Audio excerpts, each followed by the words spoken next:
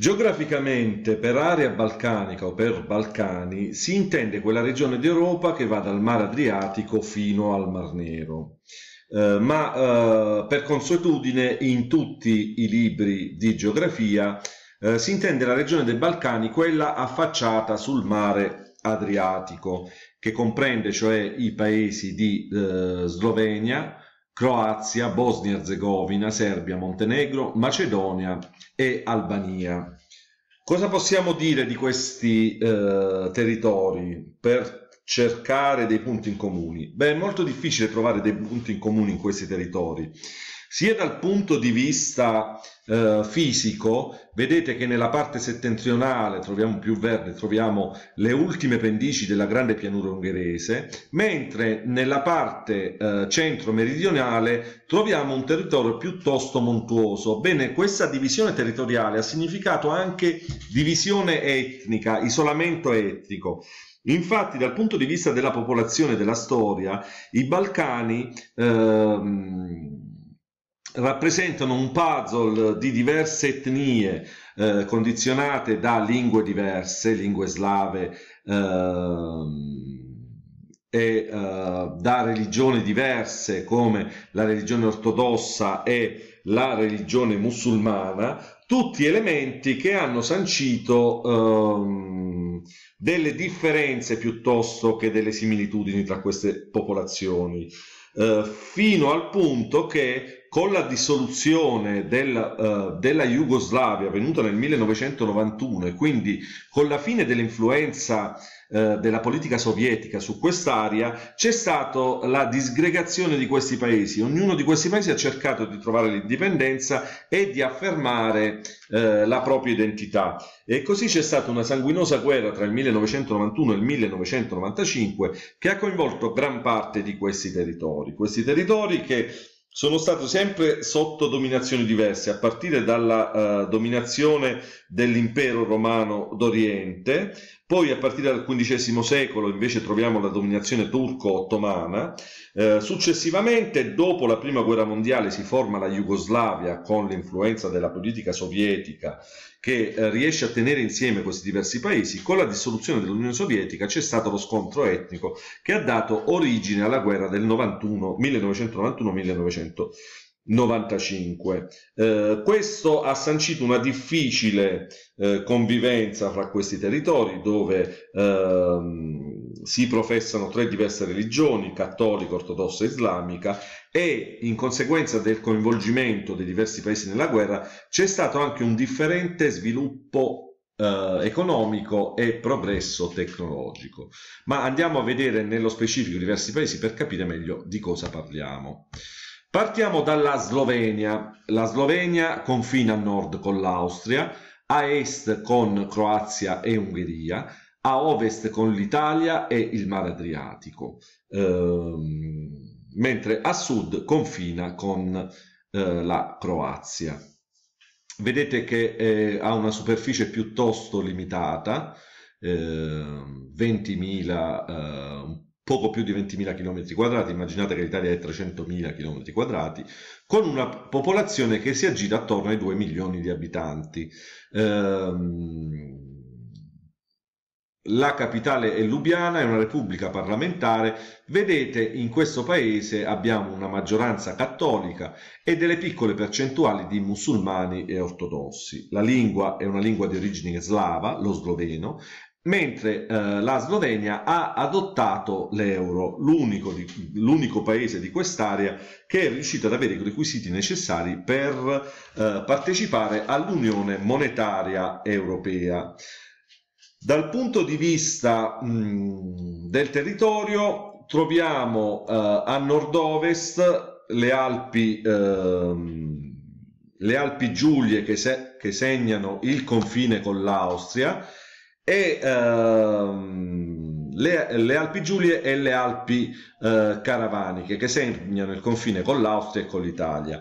I corsi d'acqua principali sono la Drava e eh, la Sava. Ehm, nella parte centrale ehm, del ehm, centro occidentale del paese troviamo il vasto altopiano del Carso, eh, formato da rocce calcaree che da origine ha delle grotte sotterranee chiamate doline, di cui la più suggestiva è quella che vedete qui in questa immagine, la grotta di Postumia. Um, le Alpi caravaniche eh, digradano verso oriente fino ad inquadrare un pezzettino eh, pianeggiante eh, al confine tra Ungheria e Croazia, che è l'ultimo eh, lembo della grande pianura ungherese.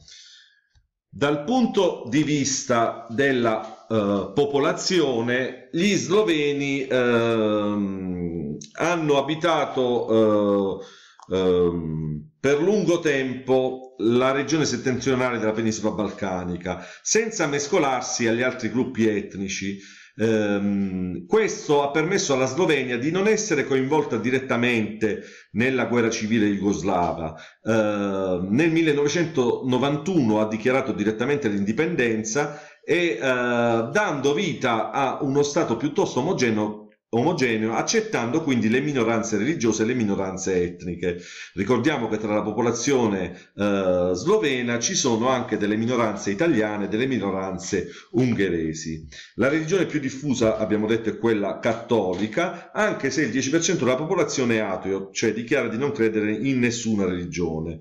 Eh, la diffusione della popolazione in Slovenia è piuttosto eh, omogenea e più elevata nelle campagne. Infatti la Slovenia tra i paesi dell'Unione Europea è quella con la, meggio, mh, mm, con la minor percentuale di urbanizzazione, cioè la, la ehm, la popolazione vive piuttosto nelle campagne.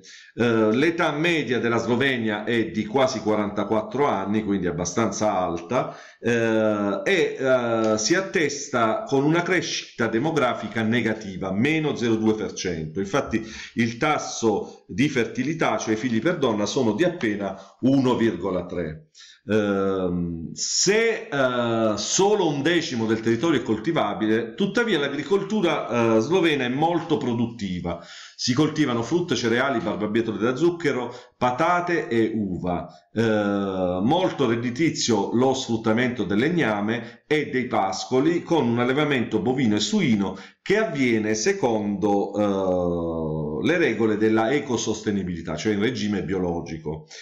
Il fabbisogno energetico della Slovenia è eh, in gran parte soddisfatto dalle centrali idroelettriche e dalle importazioni di gas, ma il 45% dell'energia elettrica prodotta in Slovenia deriva dalla uh, centrale nucleare di Krishko, uh, una centrale nucleare di epoca sovietica, vecchia e poco sicura e purtroppo ai confini con l'Italia, quindi dovesse succedere qualcosa saremmo direttamente coinvolti in questa esplosione ehm, sono sviluppate le industrie eh, siderurgiche e metallurgiche eh, grazie agli investimenti negli ultimi anni di eh, grandi gruppi austriaci e tedeschi. Eh, si è potuto sviluppare anche il settore chimico-farmaceutico, elettronico e delle telecomunicazioni. Per quanto riguarda eh, il settore terziario è in crescita il turismo sia legato agli sport invernali eh, nell'area nord-occidentale e sia legato al, uh, ai paesaggi, quindi alle grotte sotterranee, eh, alle centrali, ai, ai, centri termali e uh, balneari nel piccolo, nel piccolo tratto di costa che troviamo sull'Adriatico. Passiamo ora alla Serbia, uno dei paesi più complicati di questa regione. Eh, bene, la Serbia, eh, come vedete, è privo di sbocchi a mare. Eh, confina a nord con l'Ungheria, a est con Romania e Bulgaria, a sud con Macedonia e Kosovo, a ovest con Croazia, Montenegro e Bosnia-Herzegovina eh, ha una superficie di 77, eh, più di 77.000 km quadrati per un totale di eh, poco più di 7 milioni di abitanti. È un basso, una bassa densità di popolazione, è una repubblica parlamentare con capitale Belgrado. La religione predominante è quella ortodossa, con minoranze cattoliche e musulmane. Eh, la lingua ufficiale è il serbo, una lingua di origine slava. Come vedete la Serbia non ha l'euro. Ehm, nella parte settentrionale eh, troviamo una vasta pianura an, eh, alluvionale e a nord segnata da molti, infatti è segnata da molti fiumi. Eh, la, eh, I più importanti sono la Moravia, il Danubio e i suoi affluenti, Sava, Drava e, Tipi, e Tipisco. Eh, nel centro-sud sono eh, presenti i rilievi coperti di foreste e pascoli e troviamo un clima eh, semicontinentale con estate calde e afose ed inverni piuttosto rigidi e nevosi. Uh, per quanto riguarda la, la Serbia uh, è necessario un uh, accenno alla sua geostoria.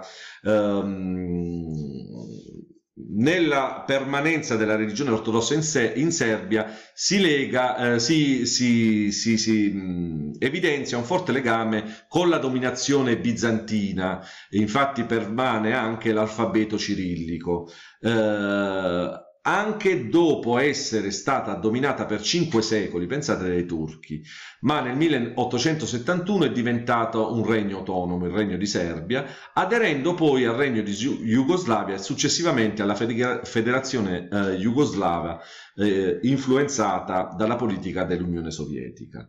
Alla fine della federazione jugoslava nel 1991 eh, in Serbia si sono eh, generati i più gravi conflitti etnici. La Serbia, appoggiata dalla Russia, un altro grande paese di origine slava e di religione ortodossa, è stata eh, la protagonista di, questa, di questo scontro perché la guerra è nata per la separazione dal territorio serbo dello Stato del Kosovo a maggioranza musulmana e albanese. Ehm, quindi questo diciamo che ha generato la guerra. La Serbia formalmente è eh, una federazione di due repubbliche autonome, eh, la Serbia e la Vojvodina. Eh, dopo uh, la guerra si sono lentamente affermati dei governi democratici che uh, hanno aperto il colloquio per l'ingresso nell'Unione Europea che non è ancora avvenuto. La Serbia, abbiamo detto, conta più di 7 milioni di abitanti con un lento calo della popolazione. Um, e eh, il tasso di fertilità è 1,4 figli per donna e l'etnia, accanto alla maggioranza serba di religione ortodossa e lingua slava, troviamo delle minoranze magiare, montenegrine, albanesi e bosniache, eh, rumene e croate. La religione pre- prevalente è quella eh, cristiana ortodossa, le minoranze praticano Islam e cattolicesimo. Cosa possiamo dire dell'economia serba? Ovviamente l'economia serba è stata duramente segnata dalla guerra.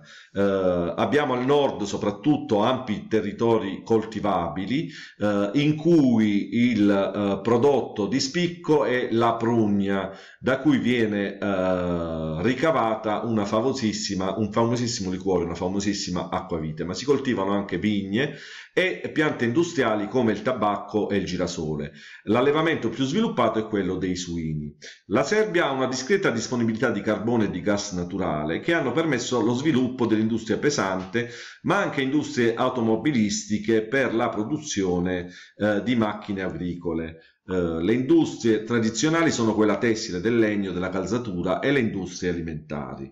Nel settore terziario uh, l'economia, il settore economico è stato limitato a lungo per le sanzioni economiche dovute alla partecipazione alla guerra della Serbia, e, uh, ma il, il ritorno alla normalità ha sancito una ripresa del commercio e del turismo. Comunque la Serbia è un paese che sta ancora pagando lo sconto degli anni di guerra, sia per la distruzione delle attività produttive e sia per il lungo embargo, cioè la sanzione decisa dalla comunità internazionale eh, per fiaccare i eh, tentativi della Serbia di occupare altri paesi. Con questo si conclude la prima parte della regione balcanica.